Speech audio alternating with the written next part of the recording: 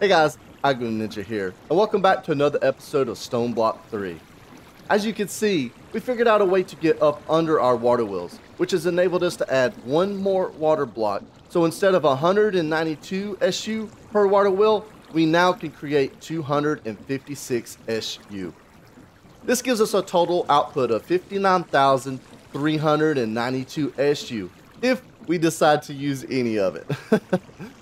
but for today's episode, we're going to jump right back into our major build. I want to complete the core part of that as well as get moved over into this area, all in today's episode.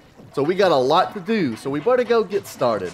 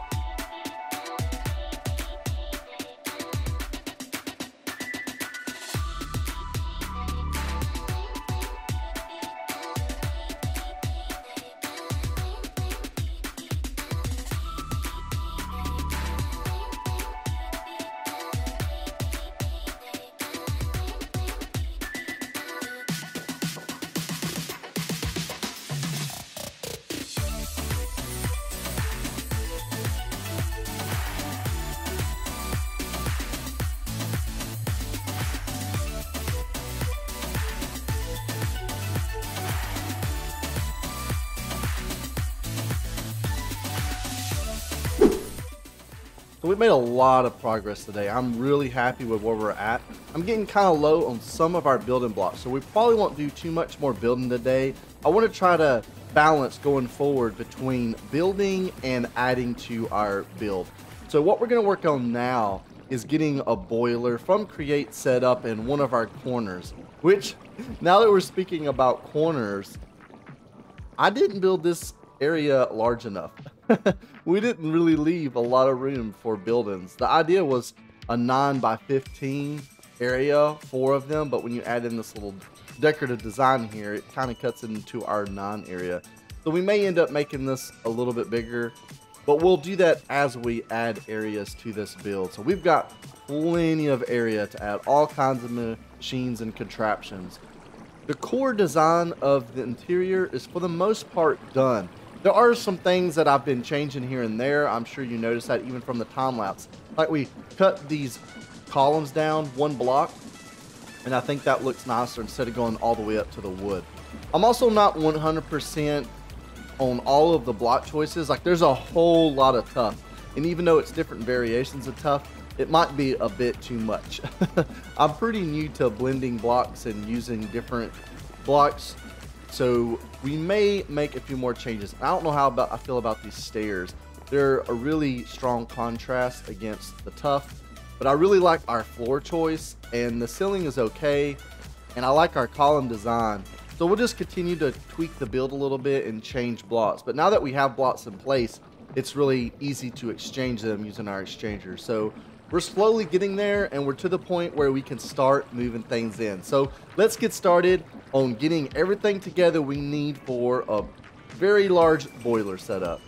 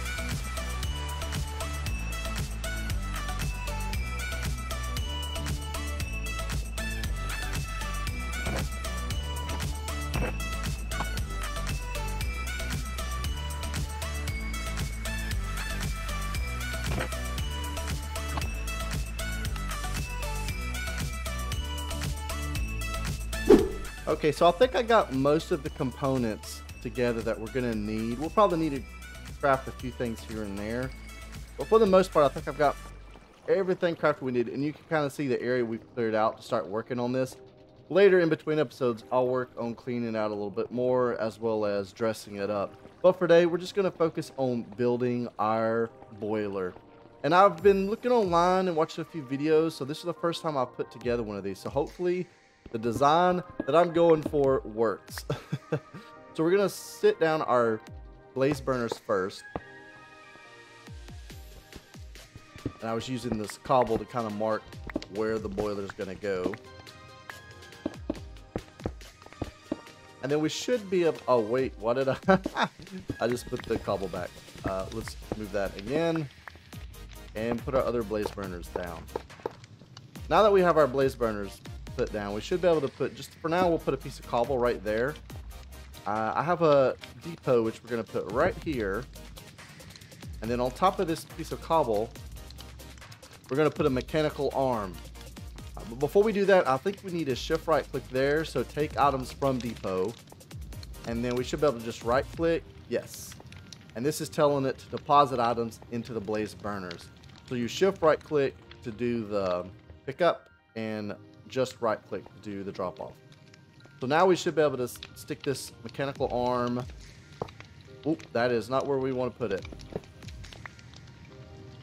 So let's look at this again. Shift, right click, there we go.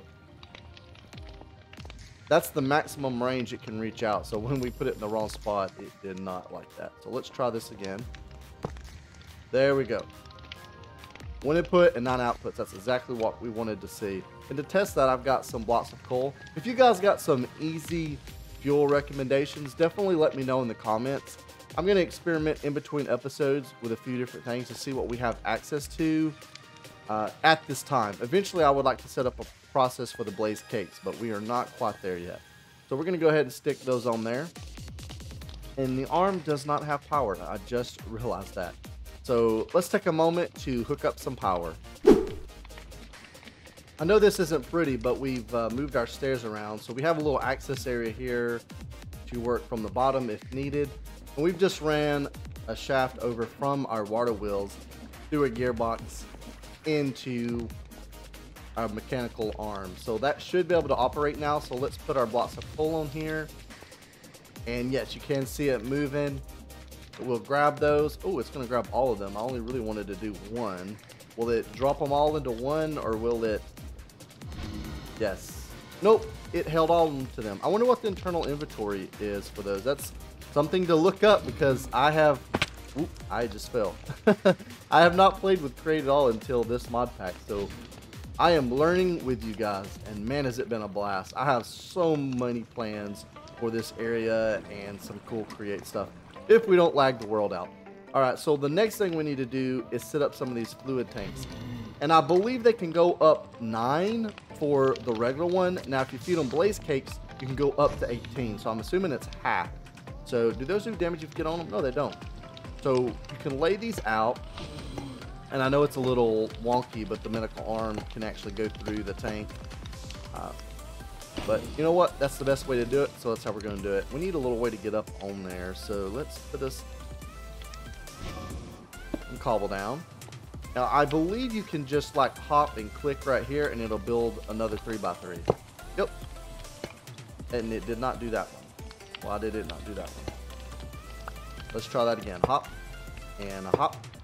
We should be able to take this all the way up to 9, which is 81 of these fluid tanks. And one more. Oh, I cannot hop that. So let's try this. Let's go out one with cobble. And click. All right, sweet. Now we'll fall down. Boom. and total capacity is 6,488,000 millibuckets. All right, so now we have these steam engines, and we originally built nine, and I meant to build 12, but you know how Ninja is with math. we messed that up a little bit. So we're to shift click these on there.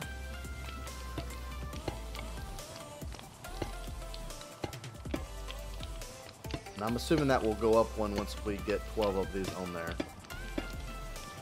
And where did it put it?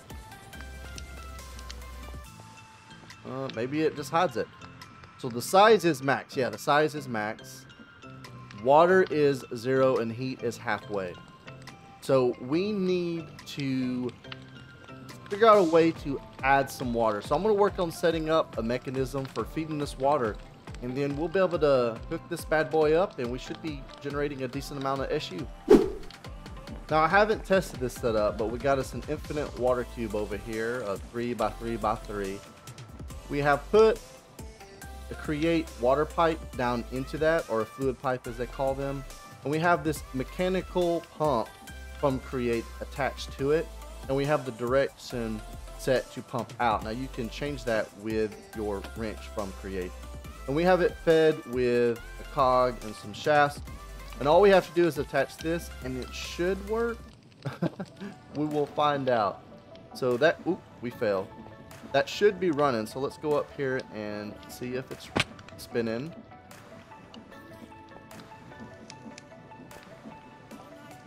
Uh, and we should be able to like right click these I believe it'll open a window. So it's moving. Oh, don't want to do that. So it is running. It might not be running. So, oh, we're, uh, we didn't. somehow we put that the wrong way. So let's see what it does now. There it goes. So it is pumping. It's just going to take it a while. Uh, we did grab some more fuel, but we're going to have, we're going to wait until the water goes all the way over to here. So, man, I cannot wait to clean this area up. I know this is not like Ninja to build like this, but we're really testing. So you're getting a little bit of behind the scenes build and test for once. I usually do all this off camera and then build it and make it look pretty for you guys. But I thought this would be a nice touch. So we're going to right click this so we can see the water going in. Well, the water should be going in now. If that attached. Doesn't seem to be going in.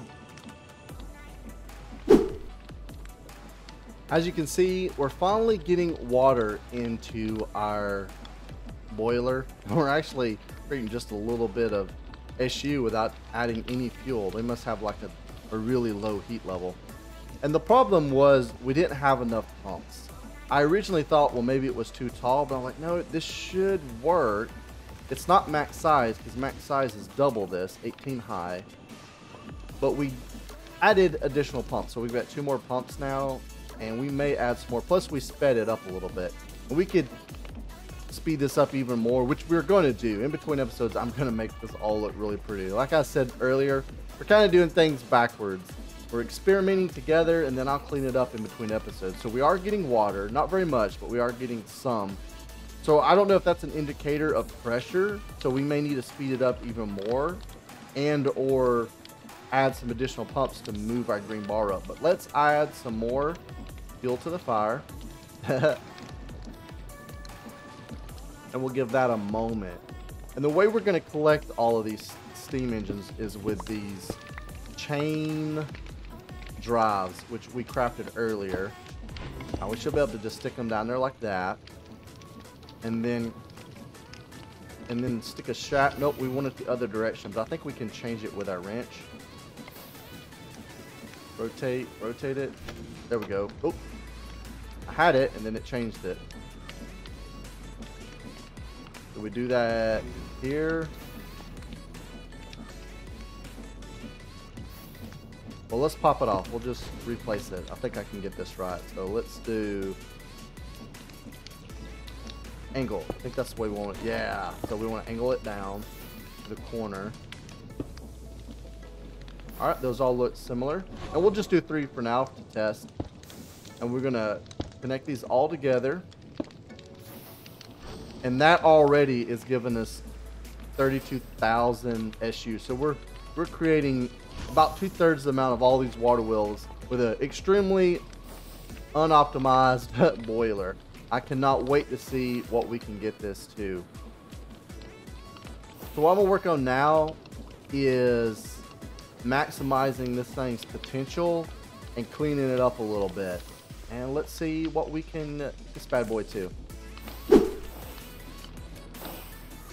As you can see, we have bumped it up to 147,456 SU. I think that's pretty awesome, and I think that's the max this bad boy can do. It's full water, full size that it can handle without bumping the heat up. So it can go all the way up to level 18, but this is half size because we're not doing the cakes yet, which hopefully we'll figure out a way to automate that pretty soon. We've got 12 engines, so each engine's got 12,288 SU, which is matching up with some similar builds that I found online. Oh, you know what? We're we're missing three of our piston engines, but that's okay. We've got it kind of blocked, and this is collecting it all. Uh, they do max out at 16,000, so the only reason we have 12 is really just for looks. I have a pretty cool design that we're gonna implement in between episodes, so I can't wait for you guys to see that. But you might notice that our gears are spinning at a ridiculous rate. And that's because we added this new item we haven't used before, which is a rotation speed controller. And we have it maxed out, and it doesn't have a problem pushing that. So we'll probably tweak that. I don't know if it needs to be spinning that fast because it kind of looks ugly, but we're getting plenty of water now.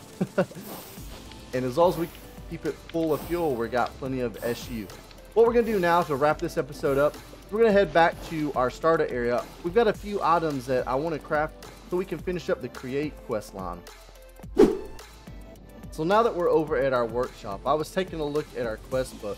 We're actually not going to be able to finish our create quest line today because it's going to require us getting into this train stuff, which one, I'm not really ready to get into yet and also because it requires a component we don't have the ability to craft yet, and that is this train casing, which requires a brass casing with a sturdy casing, and we just don't have this stuff set up yet. We can get into that probably in the next episode. We'll just have to see where the flow of our next episode goes. I really want to get back to working on our boiler and stuff, but we do have some quests that we can complete and get the reward for. So let's go ahead and get the reward for our steam engine. A white laser lamp, our mechanical arm, which, ooh, that actually gave us a quest. And we have our redstone link. And if we go back and take a look, we got something from that quest. So we got this absorption hopper. So we'll go ahead and select the rewards for that. And we also got a quest for exploring, but we didn't actually do this one, so we're gonna wait on collecting that one. We got that one because we visited one of our buddy's setups, so we're gonna ignore that one till we actually do it. But for quest, I think that's about gonna wrap us up. I do have in my backpack though. Let's go in here away from all those chickens. It is they are so loud and annoying. I can hear them over in there too. So let's head over here. All right, Woo, better. I, I couldn't think.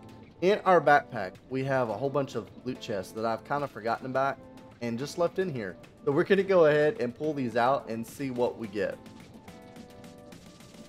And let's see, we already know what's in these, so we'll go ahead and open these. Kind of funny to have a reward chest that's just play. And then we'll start with the common loot crate.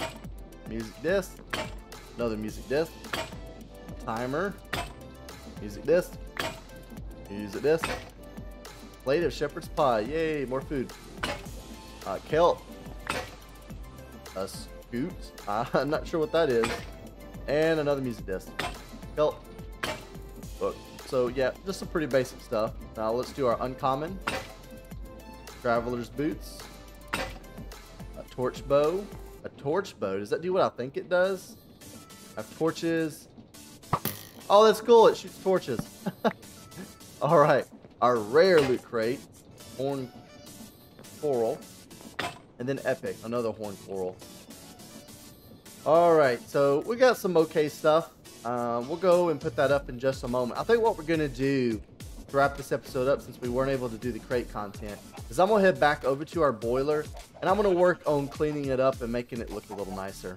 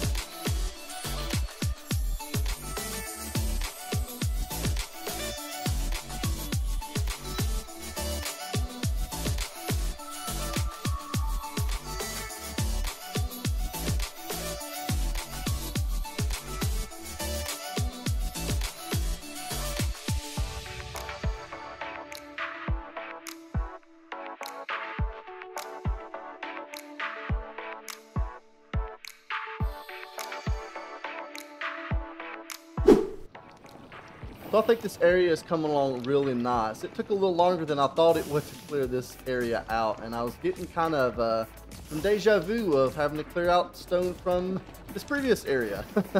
so we tackled a little bit, and the different areas will start to come together as we add more blocks.